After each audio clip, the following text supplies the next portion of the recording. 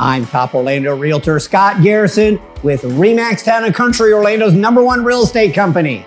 And I'm out with my realtor partner, Diana Sacoto, at Orlando Speed World's Tour of Destruction in Bithlo, Florida, to tell you how to survive the real estate market crash. So, a few times a year, we come out to this racetrack with our custom race car that we've designed and now have entered. And this car has already been battle tested several times to survive the crash. Here's the question How can you survive the crash? I have the secret. You want the secret?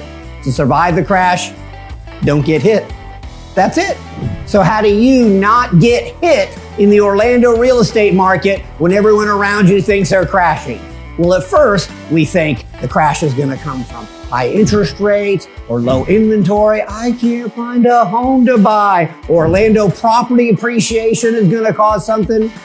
Yet in reality, despite what the media is telling you, the only way you cannot get hit is by not owning your own piece of Central Florida real estate.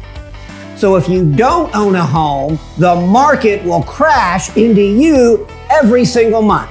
What do I mean? Well, it's near universally accepted that here in Central Florida is one of the most sought after places to live in the entire USA for its weather, its economy, its quality of life. Indeed, as the USA is one of the most sought after places to move to in the entire world, our own Central Florida Orlando area is undoubtedly one of the most sought after places to live in the entire planet. Two years ago, 24 months ago, the average home in Orlando was $325,000 here in Central Florida. Now, just 24 months later, two years, it's $52,000 higher at $377,000. That's more appreciation. That's $2,000 a month gain in the middle of a market that the media is complaining about. Imagine what it would be like if they weren't complaining.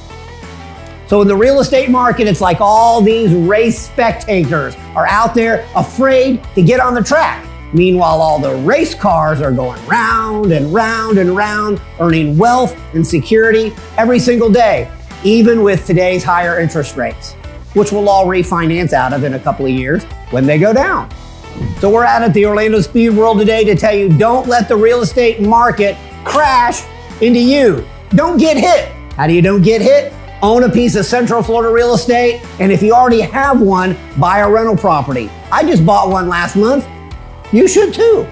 Call us, the experienced realtors you already know, in the demolition derby of buying or selling an Orlando home. We will help you crash through all the obstacles to closing and speed towards the checkered flag to the finish line of home ownership and real estate wealth.